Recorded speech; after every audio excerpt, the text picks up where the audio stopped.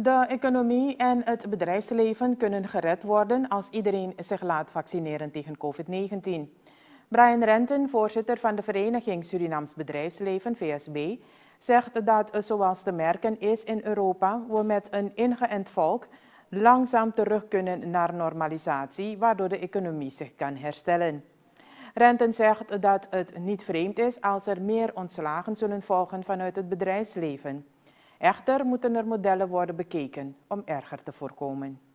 Wij verwachten dat inderdaad op een gegeven moment bedrijven de werkgelegenheid niet kunnen garanderen. Ik wil het woord massa-ontslagen niet noemen, want ik wil, dat, dat is een, een definitie wat is massa. Ik bedoel, voor Suriname is duizend man al massa. Ja. En ik weet niet wat de cijfers zijn, maar uh, het is niet onverwacht. We hebben het uh, ook aangegeven. En uh, en zeker in de sectoren die dubbel zijn getroffen. En dat zijn met name de toeristen, luchtvaart, transport en nu ook de handel. De rek is eruit. Zodra we vaccins hebben, vaccineren, dan kunnen we een beetje normaal leven hebben. Dan kunnen winkels open, dan kunnen we toeristen ontvangen. Want in de rest van de wereld, in ieder geval Europa, gaan de cijfers omlaag dankzij vaccinatie.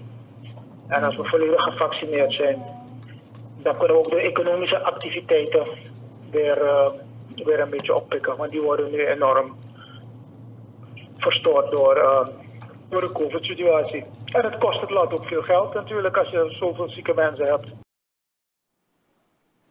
Renten zegt verder dat het hem verbaast dat ondernemingen het zo lang hebben overleefd in de crisis. Het is gebleken dat vele bedrijven forse kredietopnames doen om salarissen uit te betalen.